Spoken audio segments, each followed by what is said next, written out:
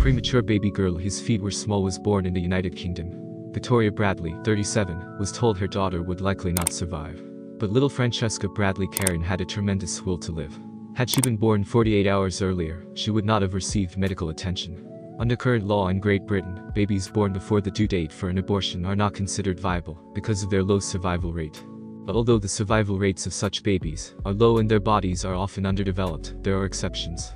Nevertheless, for nine months this miracle baby battled meningitis, sepsis, and lung problems. Bradley, of Liverpool, was given a cast of her daughter's tiny footprints by medics who made them because they didn't expect her to survive. But now Francesca is alive and well, having been discharged from the hospital only 17 weeks after her birth. Bradley said, It's just great to finally come into my home. I didn't think my little girl would be here. It's scary to think, if she had shown up just two days earlier, no one would have helped us save her. The nurses allowed the mother to be with her daughter for just a few hours, and then placed her in isolation on the intensive care unit. She added, I thought the baby was still more like a fetus.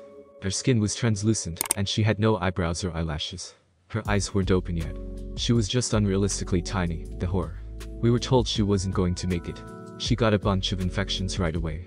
Currently, abortions in the UK are performed until the 24th week of pregnancy, and only from the 25th week is the fetus considered human. However, under certain circumstances, a pregnancy can also be terminated at this term if there is a risk to the mother or the baby. Those born before 24 weeks are not required to be treated or resuscitated by medical professionals because they are not considered viable. But a 2006 study suggested that 19% of babies born at 23 weeks survived, leading many to argue that this limit should be lowered. Last year, the Royal College of Midwives argued that a woman should be able to terminate her pregnancy at any time without fear of prosecution. This position has been heavily criticized, as there is reason to believe that some will want to terminate a pregnancy if the fetus is of the wrong sex. The press campaign began after a 24-year-old woman was jailed for an intentionally induced miscarriage in her eighth month of pregnancy.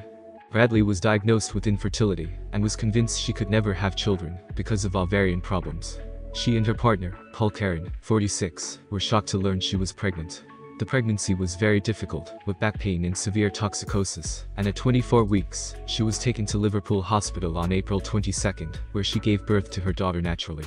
Placing the baby girl in an incubator on the intensive care unit, a team of 15 doctors and nurses fought to keep the girl alive. It took 11 minutes before she was able to take her first breath. The girl underwent 15 blood transfusions and laser eye surgery to keep from going blind after the scan.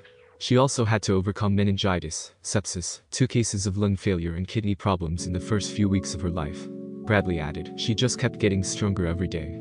After eight weeks, she was able to live without an incubator, and it amazed the doctors. They couldn't stop saying it was a miracle she survived.